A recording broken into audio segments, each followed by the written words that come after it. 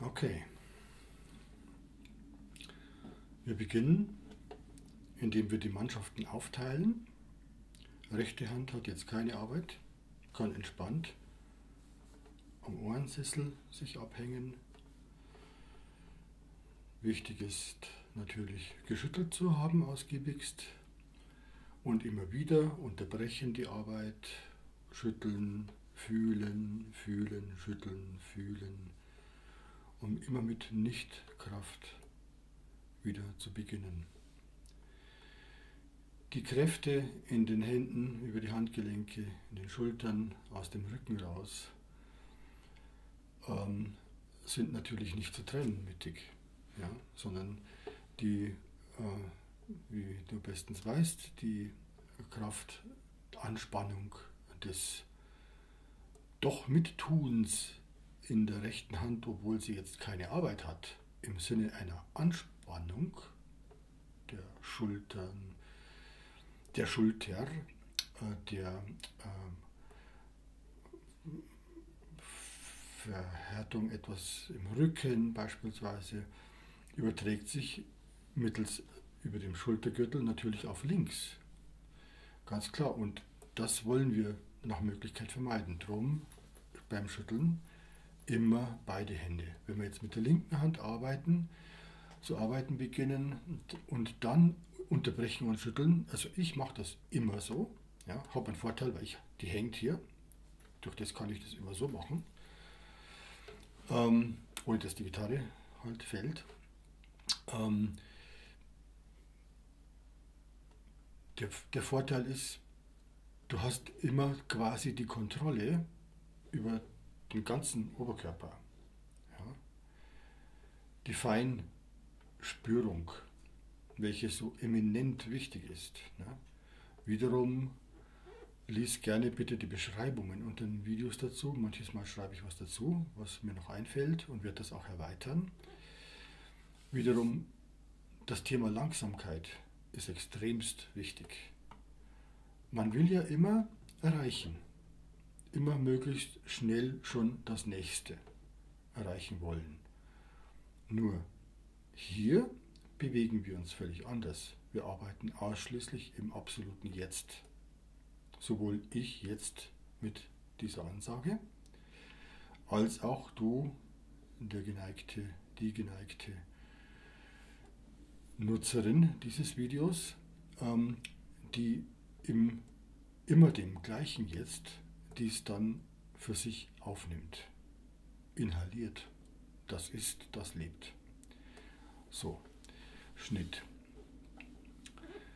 Wie in den anderen Videos bereits angesprochen und jetzt nicht mehr nötig ist auszuführen, ähm, habe ich mich vorbereitet, habe jetzt die Gitarre, die rechte Hand hängt locker rum und die linke Hand bewegt sich zum Griffbrett. Eine Frage, die jetzt entstehen muss natürlich, ist, warum hier? Dazu eine Erklärung. Ein großes Problem sind die Winkel an der Gitarre, natürlich auch an anderen Instrumenten. Ich nenne das Scheibenwischer. Wenn ich hier hinkomme, bin ich nachgerade fast rechtwinklig auf dieses Holzteil auf, am Auftreffen. Wenn ich hier bin, Scheibenwischer, wo sich, und da taucht die Frage eben auf, die meisten Hände an allen Gitarren der Welt am meisten bewegen und auch zu bewegen haben oft, ähm, ist der Winkel plötzlich so. Und dann kommt genau wieder diese gerade Verlängerung, dieses so hinlangen und so hingehen. Ja? Da ist viel möglich. Es gibt viele, viele, sehr viele berühmteste Persönlichkeiten, die Spitzengitarristen sind, die so sehr, sehr viel erreichen. Ich sage aber, ich habe in meinen Jahrzehnten schon so viele Leute gehabt, die von vielen Gitarrenlehrern geflüchtet sind oder von sich selber, dann hierher kamen, hierher fanden und dann sagten, Mensch, äh, ich habe so ein Problem, ich kann ja schon hier Akkorde und so weiter und so fort, aber das ist mir jetzt irgendwie alles mittlerweile zu wenig. Ich möchte gerne mehr machen und mein kleiner Finger, der, der, der, der kann aber da so gar nicht, der ist nicht, ne? weil der wird ja nicht trainiert. Nimm irgendwelche Akkorde, A-Moll, äh, D, D7, äh, G, E, A, C, F, was auch immer und so. Die Akkorde sind ein eigenes Thema, das machen wir später. Ja? Du hast immer hier diese Drück- und Haltekraft und immer ein, eine Anstrengung, die zwar je nach Gitarre auch mit der Zeit und Training leichter wird, aber sie ist da. Dieses kompakte Heben von irgendwelchen Griffen ist eine völlig andere Baustelle wie ein leichtes Fließen, was man immer an den turboschnellen Soli von manchen Menschen dann hört. Das ist wie wenn ein Dackel rennt, du siehst keine Füße mehr. Der hat maximale Ressourcennutzung. So, also ich gehe hier hin. Ich nenne diese Übung, das ist die zentralste überhaupt für die linke Hand, Krebsi. Warum Krebsi? Ich erkläre das meinen Kindern gerne so. Du bist bestimmt schon mal an einem Strand spazieren gegangen, irgendwo im Süden, und hast dann plötzlich überrascht eine Strandkrabbe gesehen im Sand. Ja? Was macht die, wenn du kommst? Ja, die rennt weg. Genau. Und wie sieht das aus? So. Und darum sage ich jetzt nicht kompliziert zu dieser Übung Handtrainings langsam Spreizungsrichtung Torübung. Ah, da grüßt jemand via Mail, via Mail. Sondern ich nenne die liebevoll einfach nur Krebsi und dann muss man nicht lange reden. Folgendes. Wir sind also hier so angekommen, halten den Stift, du weißt, der Daumen ist noch gar nicht dran. Der kann ruhig weg sein. Damit kann man dem Daumen sehr, sehr gut beibringen, auch künftig für die Akkorde, dass er nicht permanent zu viel drückt im Sinne des Kartoffel- oder Orange- oder Orangen- oder Steinehaltens. Jetzt bin ich hier dran, liege völlig parallel in meinen Fächern hier drin. Ich könnte auch so machen. Wie fühlt sich denn das heute an? Ah, okay, das sind meine Seiten. Ja, ja, gut. Und dann beuge ich mich etwas und stelle mich, jetzt wichtig, auf die G-Seite. Das hat mit Winkeln zu tun. Das ist jetzt hier am einfachsten. Dann lege ich, so wie der Daumen will, das ist je nach Handtyp, Muskelknochentyp, anders. In den meisten Fällen ist es ungefähr gegenüber dem Mittelfinger. Sieht von der Seite jetzt so aus. Wichtigst ist, ich lege hier nicht an. Probiere mal deine Hand so zu halten und nur den Zeigefinger zurückzuziehen, dann wirst du eine maximale Anspannung im Grundgelenk fühlen. Das schüttle ich jetzt sofort weg. Gehe wieder hier hin. Ich sage immer ganz gerne, man müsste hier so, wenn man so steht, so einen Stift mindestens hier durchbewegen können von der Freiheit her, weil die brauchen Freiheit, die Krabbenfüßchen. Ja, sonst können sie nicht schnell haxeln oder die Dackelfüßchen. Das ist die zentrale Übung für alle Soli, Melodien, wunderschönste Einfühlungen, Akkorde, Stücke, ever. Ever. Und es gibt noch was Wichtiges, was ich sagen muss. Ever. Dabei ist jetzt das ganz, ganz absolut Entscheidende die Langsamkeit. Du bist, indem du dieses versuchst nachzuvollziehen und auszuführen, in Universalperson viele Lehrer in dir selbst. Und in Wirklichkeit bist du ja selbst der Lehrer. Du sprichst ja sowieso immer nur mit dir selbst. Das heißt, du bringst dir alles bei. Und deine Fragen, die künftig kommen werden, sind, eine, sind Fragen an dich Lehrer. Und keine ist zu blöd. Maximal sind die Antworten zu blöd. Ne? Aber ich werde mich bemühen. So, jetzt liege ich also hier so da, wie so Sen Sen Sensortechnik. So, ich drücke nicht mal die Seite nieder, sondern ich berühre nur.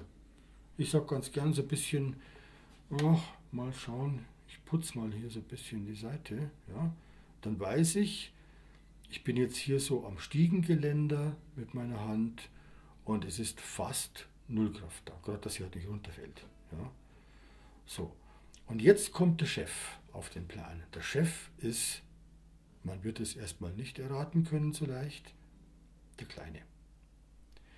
Vom Kleinen aus stellen wir uns hier hin, nach Möglichkeit immer knapp an das Folgebundstäbchen. Da geht es am leichtesten zum Drücken. Du brauchst am wenigsten Kraft. Je weiter du nach hinten gehst, desto mehr brauchst du Kraft, um die Seite niederzudrücken. Je nach Seitentyp, Stahlseiten, Nylonseiten, Seitenspannungsstärke und so. Drum haben wir auch eben Low Tension gewählt. Und äh, es gibt allerdings eine Ausnahme. Diesen drei Fingern fällt es ganz, ganz super leicht, sich knapp ans Buntstäbchen zu legen. Man möchte dann automatisch den Ringfinger auch hier herüben haben wollen. Das geht nicht. Ja, das ist eine sehr, sehr schwere Spannung. Der Ringfinger darf als einziger, wenn der jetzt mal hier weg ist, und ich berühre immer nur noch, einfach runterfallen. Und der kommt dann in etwa, du siehst, in die Mitte des Bundes auf. Völlig ausreichend. Damit kannst du alles erreichen, was du ever willst. Ja? Also der fängt an, das ist der kleinste im Kindergarten und die großen, starken, die lange schon da sind, die sagen in weiser Kenntnis, okay, der ist neu, dem wollen wir helfen, wir äh, richten uns nach ihm und wir nehmen, was übrig bleibt. Würde das anders gemacht werden, was hier in, in dieser Position noch nicht so ist, aber hier vor allen Dingen, ich kann dir das zeigen, schaut es so aus, wenn man hier anfängt, dann geht der hier hin und der hier hin, die beiden stärksten. Und dann sagen die beiden schon, äh, wie, wie, soll ich, äh, ne? wenn das jetzt hier, was ein Training mit der Zeit wird, die Grätsche vom Tor, ja, dann werden solche Sachen möglich. Ja. Ähm, dann fängt der Kleine an, sich aufzubauen, wo auch immer. Das ist jetzt eine technische Grundübung halt. Ne? Äh, und der Rest legt sich dazu, passt sich an, bin ich da richtig? So, und jetzt lege ich dann hier so dran. So, und jetzt, jetzt kommt's. Jetzt mache ich mit der rechten Hand doch ein bisschen mit. Ja? Völlig egal wie. Das könnte jetzt ein Plektrum sein, das könnte ein Finger sein. Wenn die rechte Hand noch gar nicht trainiert ist, dann wird es gerne auch irgendwie einfach nur der Daumen sein. Ja? Also ich bin halt jetzt hier auf der Seite und mache. Das ist für den Daumen ein super Training, wir können alles brauchen. Ja? So, und jetzt mache ich folgendes. Und ich mache das auch so langsam, immer zu Anfang. Ja? Ich will ja nicht Kolonnenspringer werden, sondern ich will meine Einser die ich schreibe, nicht erst nächstes Jahr spielen, sondern jetzt sofort. Schubkarren voll Einser holst du dir ab. Und das macht dich schnell und gut. Diese Langsamkeit. Also gut, jetzt geht's los. Ich liege jetzt, drücke etwas nieder und spüre während dem Niederdrücken alle Finger und achte darauf, dass keiner ins Schönschreiben kommen will. Ja? Ich bin ja als in Universalperson als Musikdirektor, als Sportphysiologe, als am Rand befindlicher Trainer, der ins Spielfeld ruft, als Kameramann, der mitfilmt, als Audiomann, der mit aufnimmt und weiß nicht was noch alles. Also du bist Fahrlehrer, Fahrschüler, äh, alles zugleich. Ne? So, drum die Langsamkeit, sonst geht es nicht. Ja? Und das macht schnell. Okay, zack, jetzt liege ich dran und jetzt spiele ich so. Zweimal ist immer wichtig. Ich höre jeden einzelnen Ton, fülle wieder auf, achte darauf, dass sich keine Kräfte stapeln. So, das reicht. Schütteln. Wie fühlt sich's an? Ah, okay, okay, ich fühle. Geh wieder hoch, Null Kraft, mach's nochmal. jeder Ton eine Perle. Und das hier ist wirklich keine Perlengitarre.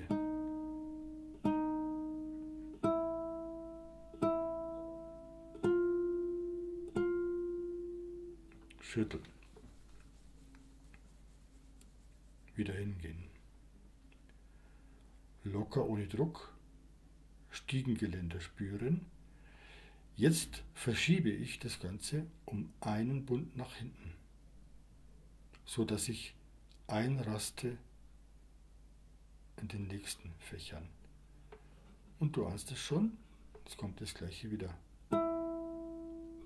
Und gleichzeitig, weil du so langsam bist, kannst du immer spüren, was sich tut in deiner Mannschaft.